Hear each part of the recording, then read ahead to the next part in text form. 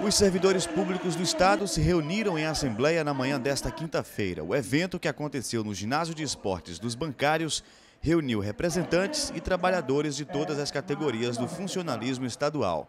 Na pauta, o projeto de lei que muda as regras do Plan Serve, que seria votado na quarta-feira. Durante a assembleia, os servidores decidiram pela paralisação de dois dias.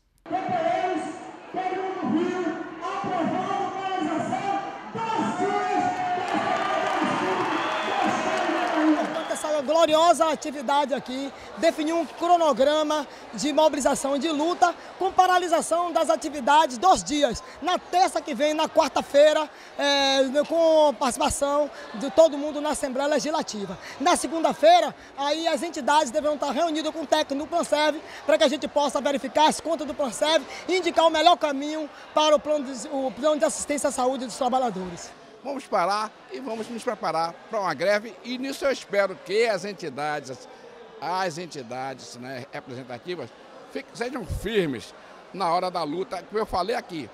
Vamos nos preparar, eles vão aprovar o projeto do Plan Serve e nós temos que garantir, sair daqui com um compromisso de luta mesmo, de parar, de ir para a rua, de paralisar e colocar o governo no lugar que ele deve ficar, mostrando que ele deve respeitar os trabalhadores do Estado. Depois da Assembleia, os trabalhadores saíram em passeata pelo centro de Salvador.